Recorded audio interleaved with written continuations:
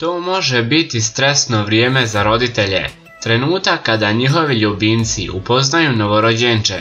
Mnogi su u strahu kako će životinje reagirati na mališane. Za ovoga boksera je došlo vrijeme da upozna malo bebu, koru, a roditelji su snimili taj trenutak.